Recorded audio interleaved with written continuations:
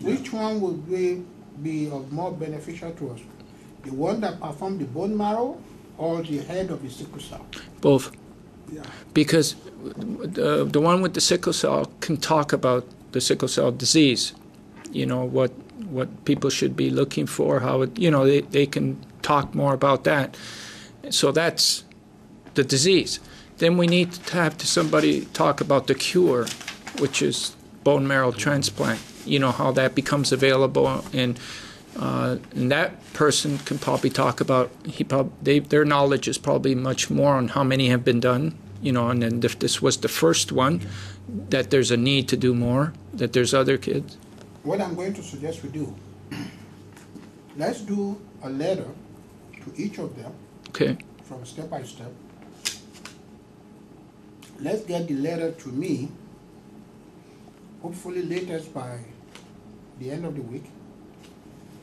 And both of them are at SickKids Hospital. Yeah, they So. I will go and hand deliver it to them. okay and doctors are usually busy it's very Yeah. hard to get doctors to, it's very to difficult to, to actually see them too. so if they can't will go uh, myself. yeah but I'll- if they I'll find them. But if they can't attend uh, because they might be doing surgery or something very important, um, if we can get a letter to be read out by them. Well, let's So- include that in the, in the, uh, letter. Okay. that your presence will be very much appreciated. If, for whatever reason, you cannot attend, could you please send a greetings or something that, that can be read out? Exactly. Yeah. Exactly. So I will try and make sure I see them. If they cannot attend, and they can, you know, send something that can be read out. Yeah. Because these are both very informed sources.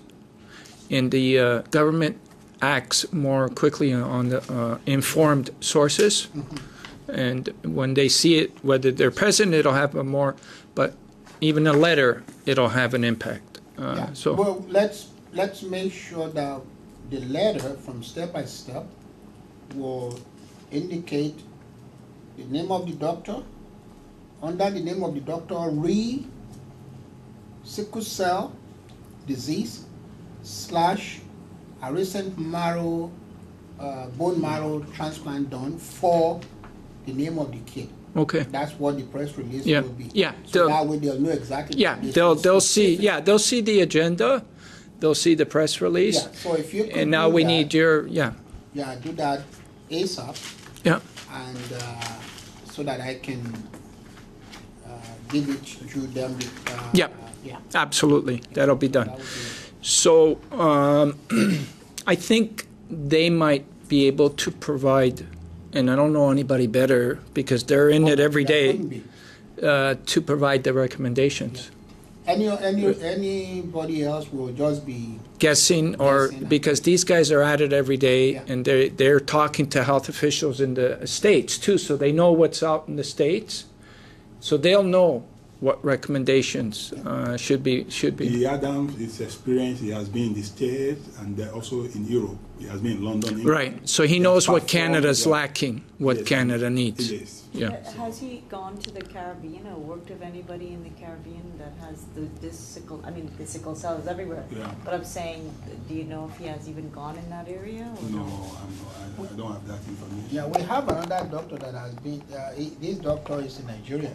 Okay. Yeah, and he has been everywhere. But although he has been everywhere and has done all these things, uh, yet the uh, he came over as a guest speaker in one of our meetings right, at the church. yeah.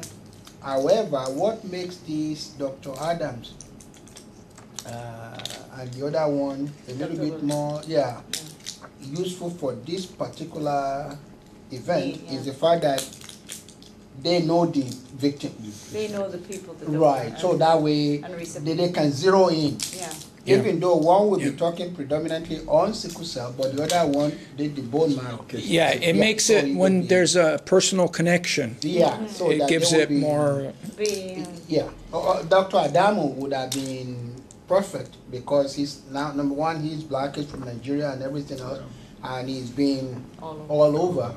But yet, he may not be able to speak specifically Case on this specific. trial. This particular case. Yeah, and that particular case Is what we're trying is to what get we want using to, right now. exactly, so, But Yeah. he's good on the periphery. oh, yeah, oh, yeah. That's where I think the knowledge, because without knowledge, we perish. We, we we perish, yeah. Yeah, so we, so he would be good on the periphery. Yeah. And this guy is like to the Yeah. C, I the mean, actual even root. then, yeah, even think then, it's like, still- they, they all have the They all, knowledge. kn- yeah, and they all work together.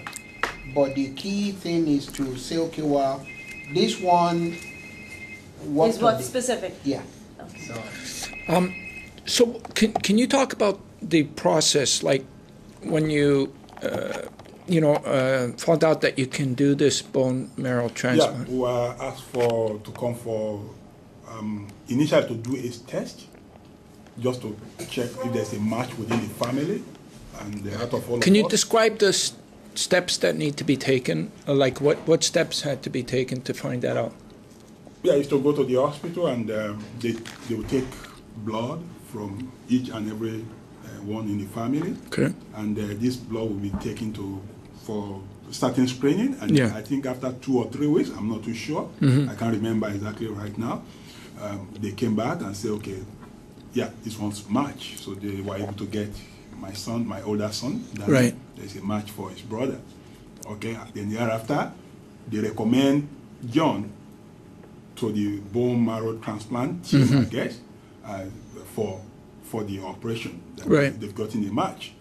So there's also a waiting time. Actually, we've been given like two or uh, up to two or three different days in, Right. the, in the past Right. that they had to cancel, and they didn't give us any reason. Just um, well, it's not going to happen on that date. So until even this one, we were given a very short notice. Mm-hmm. that we need to come to the hospital just a day to the election, October 13th. Mm-hmm. We had to move in there right away. And what exactly took place um, from your? Uh, so he's five, six years old. Sorry, He- No, it's uh, four years old. four years old. The one that donated. No, the one that donated is five years. old. Five years old, one. okay. The younger and one is and what? Sorry, what was his name? The five-year-old Daniel. Daniel. Daniel. Yes, Daniel. John is the recipe. and John is the. So Daniel, um, when he was preparing to donate, what exactly? What was the operation? Well, we've been telling him all along that uh, though John, God, I think John was in the hospital for 14 days, but they have they they want to no day minus 14, 13 until when they get to day zero. That's the day of the transplant, and that's the day he has to come in and do because they make it like an um, uh, one day event. They don't want to keep him in the hospital. Right. So we I just well, we've been telling him that you'll be going to the hospital to help John. And Yeah. We explained to him. Say yeah, he, looked forward to it, and he said, oh, tha- that's great. So on the morning on that day, I uh, took him to the particular ward in the hospital.